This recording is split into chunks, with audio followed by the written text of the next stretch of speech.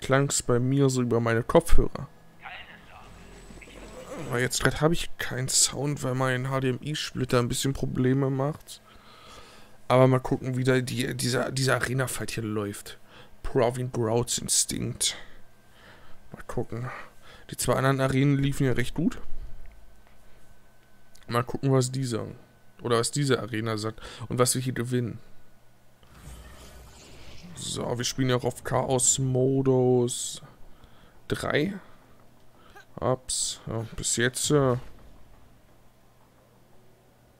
Warum soll ich denn da hingehen? Ich will da nicht hin. Göttliche Vergeltung. Ach, stimmt ja. Ich kann das ja gar nicht so wechseln. Ich habe die Steuerung umgestellt.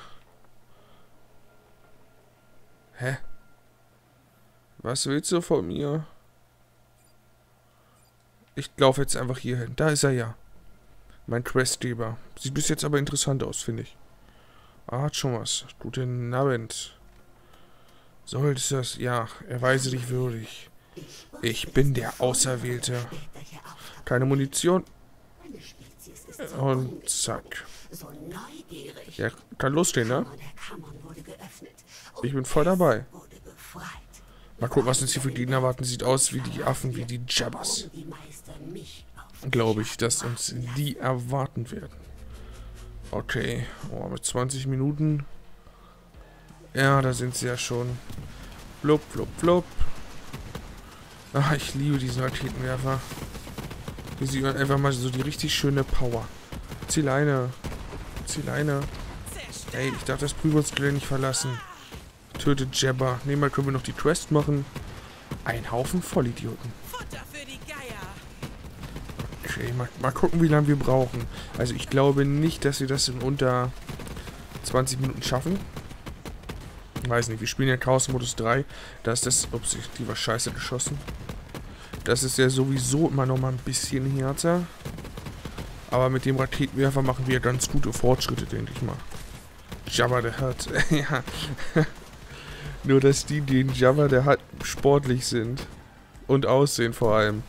Aber gut, den, den sportlich sein ist kein Problem. Oh, hier ist so ein Plündereraffe. Komm her.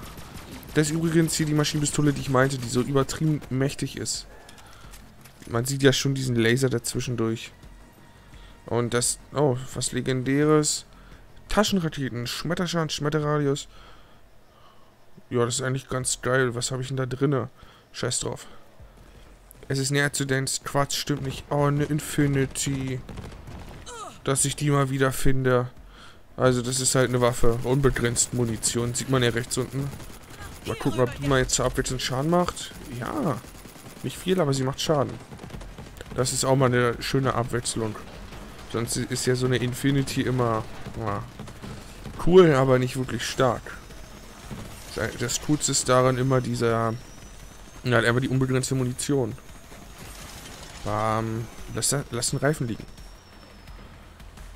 Und dich noch runterschießen. Oh. Treibstoff ist alle.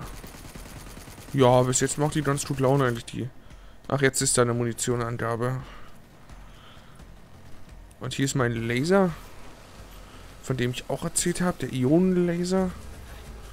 Okay, setze die Prüfung fort. Hier liegt zwar schön viel Geld, aber können wir leider nicht einsammeln. Oder, na, was heißt, wir können nicht, wir können schon. Was für Migatte? Migate no Goku? Aus Dragon Ball? Okay, ich, ich weiß nicht, was du meinst. Wahrscheinlich bin ich da einfach zu wenig in diesem Ding drin, dass ich den jetzt checke. Diesen Vergleich. Blop. Ich habe auch neue Granaten. Ich hatte ja vorher die Hex drin. Die habe ich auch immer noch. Also nicht drin, aber ich besitze sie noch. Komm, aber diese Granate ist auch cool. Denn sie gibt mir entweder 30% Schildkapazität, also natürlich vom ausgegangenen Schaden, den sie gemacht hat, 30% als Schild wieder oder als Leben. Je nachdem. Und das ist echt geil. Und dazu macht sie noch gut Damage, explodiert schön schnell, sodass man sie dann doch relativ gezielt werfen kann.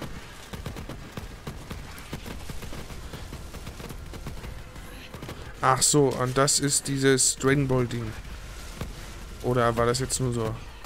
Das denke ich, dass du das meintest, oder? Mit dem Dragon Ball Ding. Oh, wie viel sind hier? Ist hier drin? Schön viel. Aua. Oh, oh, oh. Da macht irgendjemand aber Schaden. Hopp. Na, komm her. Bam. Komm her, du kleiner Dino. Er ist unten ein Predator. Geil. Oh. Ja, das war der Kopf. Das war der Kopf, du lieber Predator. So. Oh, was, liegt, was ist denn das für einer? Gefallener. Wie so ein scheiß Wächter. So ein Grabstein. Äh, nee, nicht Grabstein, Grabkammerwächter. Nee, ohne Grab. Nur Wächter. Kammerwächter. So, jetzt habe ich es. Kammerwächter. Oh mein Gott. Ist dieser Raketenwerfer nicht geil? Ich finde ihn so geil. Oh, hat aber jemand ordentlich Gold verloren. Wartet mal, wir müssen mal nochmal kurz gucken. Was habe ich denn hier für ein Equipment? So, die Infinity kann erst mal wieder raus. Was bist du? Hm. Hier, ich habe die Bitch wieder gefunden. Ach, ist japanisch dafür. Ah, gut, dann sind wir jetzt auf dem grünen Zweig. Hier, das ist die Bitch. Kannst du dich noch erinnern, als wir die in Borderlands 2 gefarmt haben? Von dem Bunker, dieses fliegende Ding. Die gibt es ja auch wieder, die Bitch. Nur ganz anders. Aber ich spiele die hier gerade. Oh, nach dem Verlassen von Ironbear erhöhen, killt die Ablehnzeit von Ironbear um 30%. Das ist doch schlecht. Also wenn man es jetzt so wortwörtlich nimmt, ist es aber zu 100% Übersetzungsfehler.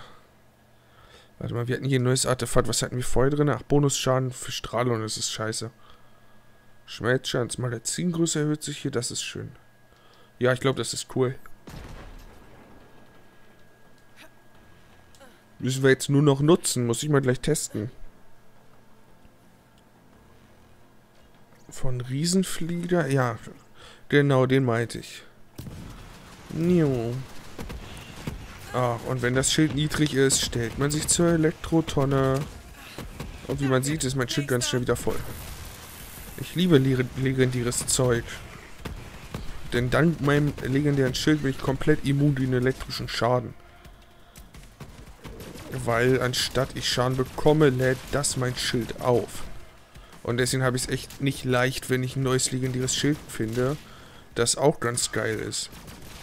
Weil so, das zu überbieten, das ist echt schon schwierig, sag ich mal. Das ist nicht so einfach meine komplette Resist nicht nur Resistenz, ich habe einen Nutzen davon, wenn ich jemanden mit Elektrowaffen an angreift. Da hatte ich zum Beispiel beim DEC 1, wo wir hier nach auch hinreisen werden, jedenfalls kurz, äh, hatte ich beim Endboss super, super einen Vorteil, weil der hat Elektro-Angriffe äh, eingesetzt, genauso wie beim Fabricator. Auch der EC 1 Bossfight, auch hauptsächlich starke Elektroattacken. Hat mich überhaupt nicht interessiert. Zielleine. Okay, wir sind fast tot, das heißt, wir gehen im Bot. Was, wie, was habe ich angestellt? Was soll ich angestellt haben? War, ach so, war bei dir. Okay, okay. Ich dachte jetzt schon, was ist denn jetzt passiert? PC in Brand gesetzt. Ja, das wäre aber auch ein... Das wäre aber dann auch dreist, mich anzuschuldigen, wenn dein PC brennt. Das wäre auch irgendwie komisch. Okay. Auch ernsthaft ein Badass-Giftmischer Grog. Bium, bium. Oh, ein Millimeter Leben, ist klar. Dankeschön. Oh, wie viele kommen denn hier nochmal? Ein bösartiger Badass-Jabber. Aua. Übertreib ruhig. Oh, der Raketenwerfer ist so geil. Das Coole ist, bei meinem Schild ist auch nochmal das Ding... Oh, jetzt bin ich down gegangen. Ist aber kein Problem. Bei meinem Schild ist auch nochmal der Vorteil, dass der auch zu einer gewissen Chance Schüsse absorbiert, die ich direkt ins Magazin bekomme. Deswegen muss ich bei dem Raketenwerfer so selten nachladen. Hopp. Und noch dazu produziere ich ja selbst durch meine Skillung so viel Munition. Ach so. Weil sonst kann das Bild ist sonst auch immer sekundenweise schwarz, wenn ich immer im, äh, mein Skill hier reingehe in den Roboter. Das ist das Bild dann auch nochmal kurz schwarz. Also das kann vielleicht sonst auch daran gelegen haben. Oh, er läuft hier noch weg. Bleib stehen! Blub. Hm. Boah, wie viel Gold hier liegt. Oder Dollar. Äh, nicht Dollar. Ist oder nicht. Hey, hey. Ich brauche eigentlich... Ja, Geld brauche ich schon noch. Denn äh, ich habe nur eine Sache nicht auf Maximum und zwar den Safe.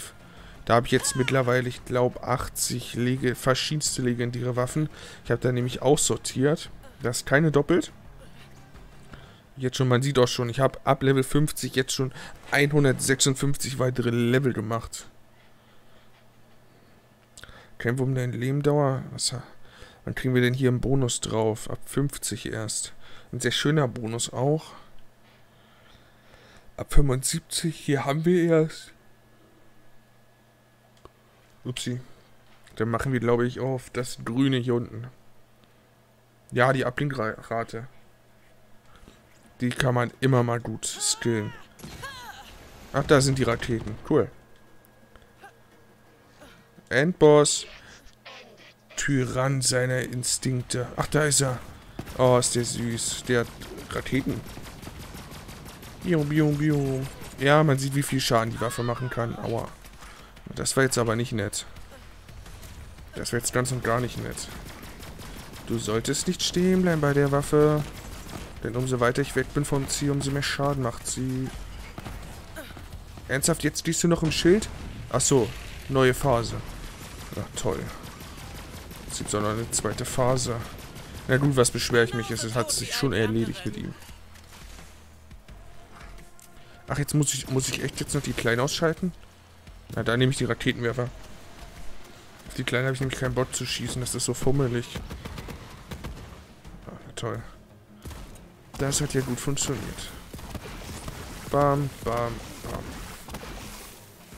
Oh, scheiße, ich stehe in der einen Suppe drin. Aber was Tolles gab es jetzt auch nicht. Na, mal gucken. Wie lange habe ich gebraucht? Hm. Ich war scheinbar langsam. Und... Da wäre jetzt nicht so viel im Real gerne. Das ist ja wohl klar, dass das jeder gerne hätte. Ich hätte auch gerne so einen Roboter. Ich weiß nicht warum, aber ich hätte aus irgendeinem Grund gerne so einen Roboter. Weil auch wenn du mit ihm erschießt, ist es Mord. Deswegen ist es an sich Schwachsinn, so einen Roboter zu haben, weil du den ja eh kaum brauchst. Außer, dass du wahrscheinlich angeworben wirst für Kriege und all sowas. Da geht dir wahrscheinlich die ganze Welt auf den Sack damit, dass du für deren Land kämpfen musst. Aber ich hätte den so einen Roboter. Um das hier kurz zu fassen. Okay, wo sind wir denn? Ach, da ist er ja noch unser dicker Loco Chantelle. Bam, bam, bam. Ach, ich liebe diese Waffe so krass, ne? Ey, die ist wirklich so genial. Weil die, die geht ja auch durch alle Gegner durch. Also würden da jetzt fünf ineinander stehen und alle fünf ordentlich Schaden bekommen. Das wäre der egal. Oh, oh, au. Stirb schneller. Name Drop, ach so. Ähm, 16.000 Damage hatte ich die noch nicht. Wir testen die mal. Whoop. Ja, ist eine schöne Explosion, muss ich schon sagen. Aber mal gucken, ob die überhaupt mit meinen mit meinem Raketenwerfer mithalten kann. Teleportfähigkeit, naja, teleportieren ist auf physikalischer Ebene sehr schwierig. Das ist ja so gar nicht machbar. Von so her, aber... Ja, es wäre natürlich geil, so keine Frage. Keine Frage. Das ist natürlich exzellent. Sich so einfach teleportieren zu können, hätte schon was. Ich meine, aber... Aber die Frage ist... Braucht man das? Ich meine, wäre das jetzt, jetzt so auf so einer allgemeinen Ebene, abgesehen davon, dass es super geil wäre, wäre das jetzt wirklich echt, wäre das dann gut? Ich glaube nicht. Weil dann bewegt man sich ja wirklich gar nicht mehr, weißt du? Und das sind ja dann irgendwie Konsequenzen, wo du dann wahrscheinlich so die Teleportfähigkeit nicht lange haben willst. Deswegen, das ist da wieder so eine Sache. Wer weiß schon, wie das alles wäre. Es sei denn, das ist der gleiche körperliche Kalorienverbrauch oder allgemein der gleiche körperliche Aufwand, als würde man dort wirklich hingehen. Oder laufen, je nachdem. Dann wäre das so richtig geil. Na, durch die Zeitreisen würde es schon wieder... Ja, das würde ja schwierig sein. Das würde ja echt schwierig sein, weil durch Zeitreise wird natürlich immer irgendein Zeitstrang verändert. Das ist ja halt einfach so. Und da ist die Frage, was würdest du verändern wollen? Weißt du, gibt es da sowas Pauschales, wo du sagst so, hm, das würde ich gern verändern wollen? Oder ist das nur allgemein so gesagt? Also ich wüsste jetzt zum Beispiel nichts, ich würde nichts anders machen. So. Ich habe nicht alles richtig gemacht, aber ich würde es auch nicht ändern. Ich würde es nicht ändern wollen. Deswegen weiß ich nicht. Ein paar Dinge gäbe es schon. Aber sind das auch Dinge, die alleine vom Zeitreise-Paradigma, nee, nicht Paradigma, die keinen Sinn, äh, von Zeitreise-Dilemman, sage ich mal, ausgeschlossen wäre? Das wollte ich sagen. Weil wenn du jetzt sagst, so, hm, die 5 in dieser Note würde ich rückgängig machen wollen, dann würde das würde nicht funktionieren. Weil wenn du die 5 rückgängig machen würdest, würdest du keinen Grund mehr haben, sie rückgängig machen zu wollen. Ergo würde sie immer noch da sein, weil sonst würdest du nicht zurückreisen. Deswegen, das ist ja, der, so diese Zeitreise-Ding, das ist ja immer häufig ein Dilemma in Filmen. Dass das so keinen Sinn ergibt. Deswegen würde ich so Zeitreisefähigkeit gar nicht haben wollen. Normal, dass es natürlich auch Probleme gibt in vielen, sehr vielen unterschiedlichen Sachen. Weißt du, das ist ja halt, wie gesagt, nicht einfach nur, ich setze mich jetzt in meiner Küche und reise mal 30 Minuten zurück, damit meine Pizza nicht verbrennt, weil das würde auch schon wieder nicht gehen. Gleiches Problem. Wenn du das verhinderst, weswegen du zurückreist, hast du keinen Grund mehr zurückzureisen. Weißt du, das ist halt echt so ein... Das ist halt in sehr vielen Filmen halt wirklich so ein Problem. Aber was... Nee, warte mal. Wenn ich jetzt überlege, müsste ich oder würde ich irgendwas rückgängig machen wollen? So Fängungen würden, ob es möglich wäre oder nicht. Hm. Nein. Nein, einfach nein. Ich bin zufrieden, so wie es gelaufen ist. Blob, stirb, Freddy. Wow. Drei, vier. Ach, ist schon wieder die Auto-Aim-Waffe hier. Auto-Aiming. Die meine ich so. Die schießt automatisch so. Bam. Die ist ganz cool. Aha. Ah, ist doch für deine Charakterklasse. Brauche ich nicht. Schon wieder für deine Charakterklasse. Dankeschön. Und schon wieder eine andere. Mann, ich wurde reich belohnt. Was für eine Fähigkeit hätte ich gern? Unsichtbar? Nein, unsichtbar ist irgendwie... Ach, lame. Ich wäre gerne unsterblich. Ich weiß, das ist auch wieder so ein Ding, hm, wer will wirklich unsterblich sein? Alle Menschen, die man sich ins Herz schließt, sieht man immer wieder auf Garantie sterben, weil man stirbt ja selbst nicht. Ja, ich weiß, ich würde es trotzdem haben wollen. Ich würde es trotzdem haben. Unsterblichkeit, ich weiß nicht, ich habe keine Angst vor dem Tod, aber wenn ich so an die Zukunft denke, so... Achso, ich kriege hier keinen Schaden bei dem Angriff, weil es ein Elektroangriff. Der juckt mich nicht.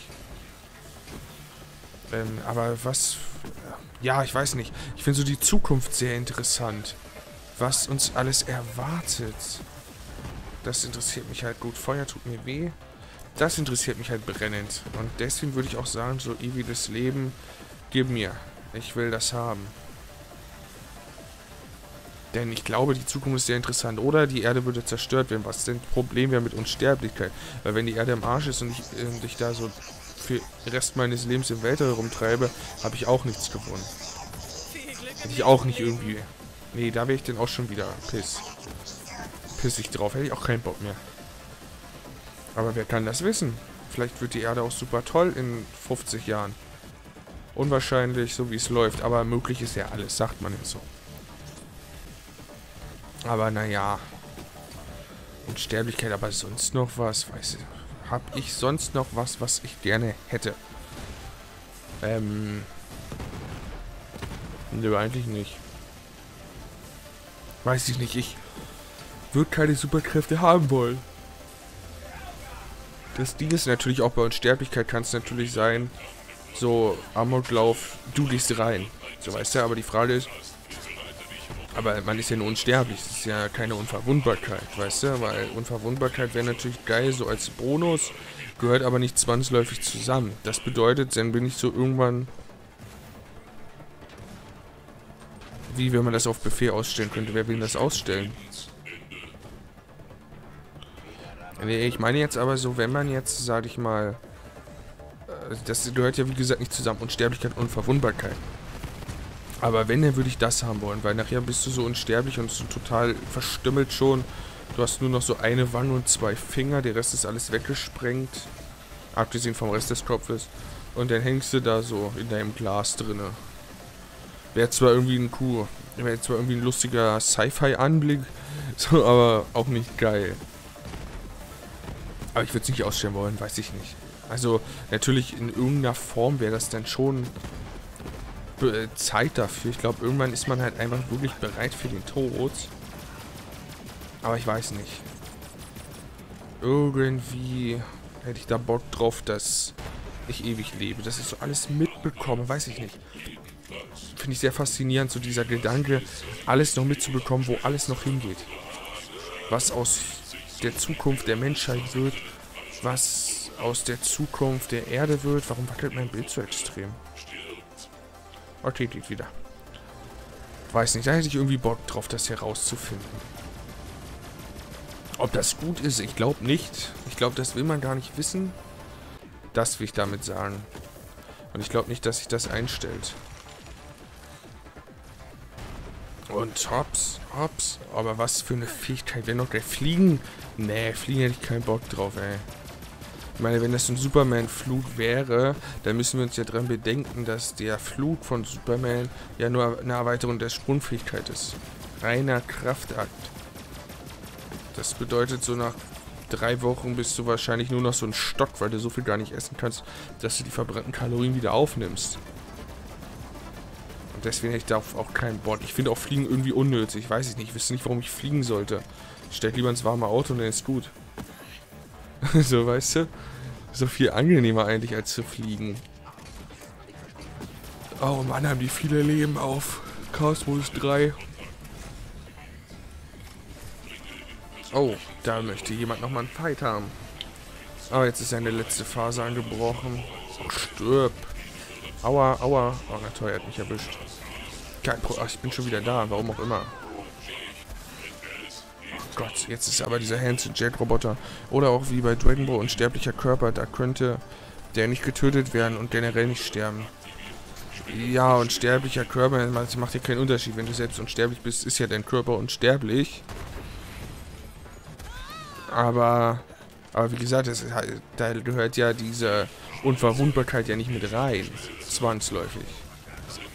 Und da hätte ich eher Angst vor die Verwundbarkeit als vor dem Tod selbst. Ja, wie gesagt, wenn du denn rein körperlich halt so fertig bist, also verletzte Ebene, so du verlierst ein Bein oder so, dann hast du auch nicht viel mehr von der Unsterblichkeit. Natürlich kannst du da immer noch sonst was machen, aber wäre jetzt schon eingeschränkt. Natürlich irgendwie geht alles, man kann mit allem leben, man gewöhnt sich irgendwie auf irgendeiner Basis daran, was du hast, was du nicht hast. Aber man muss es ja nicht, ne? Ernsthaft mit zwei Legendäre, ich bin enttäuscht. Was haben wir denn hier? Auditing die Sai Village Tips. Ich komme früher von der Arbeit. Die hatte ich noch nicht gefunden. Das ist eine Mochi-Waffe. Wir sehen uns dann im nächsten Livestream. An alle, die das auch nachträglich gucken. Ich bin spontan immer im Stream. Gut, dann tschüssi. Wir hören uns. Und es ist vorbei. Tschüss.